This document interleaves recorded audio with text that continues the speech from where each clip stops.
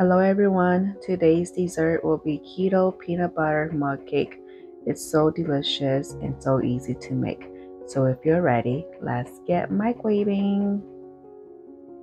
In a small bowl, I'm going to add in two eggs and then I'm also going to add in the vanilla extract and then give it a good whisk.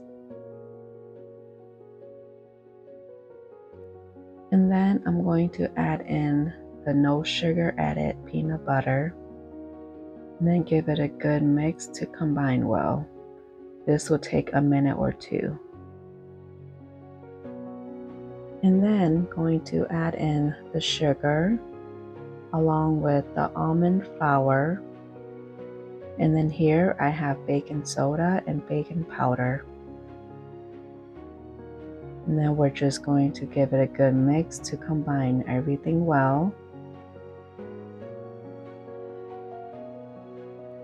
And then I'm going to add in the melted butter and then give it another mix to combine.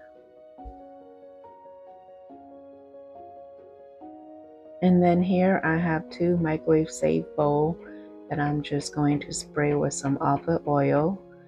And then I'm going to divide the batter into half and pour into the bowls. And then you'll want to microwave each of them for 1 minute and 30 seconds. If it needs more time, then do add more. The microwaves do vary between each others. Here is the end results of the keto peanut butter cake. I hope you'll give this a try. The measurements are in the description box down below. Don't forget to like, share, and subscribe, and hit the notification bell so you will get my latest videos. Bye!